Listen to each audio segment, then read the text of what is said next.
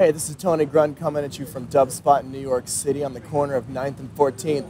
And uh, today we're going to talk a little bit about the iPad. We got a series of videos that we're going to be coming out with, tutorial videos, how to set this up with your computer to control programs like Ableton Live and Traktor. So let's go in and have a look at it.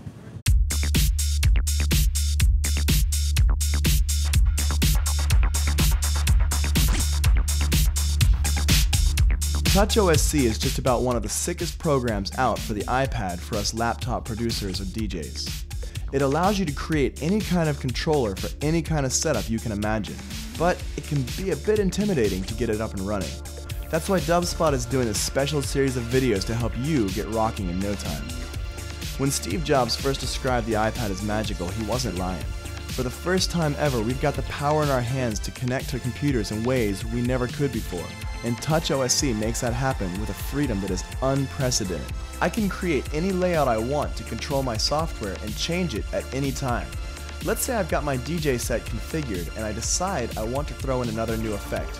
But if I've already got all my faders and knobs doing something on my MPD, what am I gonna do?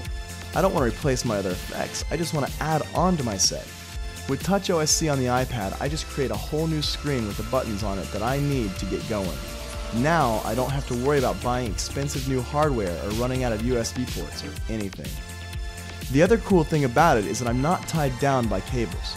I hate worrying about how far away from the computer I am or if I've got a cable that's long enough to reach a piece of gear. Now I can set up anywhere and walk around if I want. So yeah, it's cool. But it's not that easy to get set up if you don't know what you're doing. That's why we're here. These tutorials are going to help you get going quickly. We've got a few other videos besides this one, connecting your computer with the iPad and creating your own custom template. After you watch these videos and check out the custom tutorial templates we've made, you'll be able to go out and do your own thing. So go get the templates and watch the second video, Dubspot's TouchOSC Tutorial Part 2, Connecting to the Computer.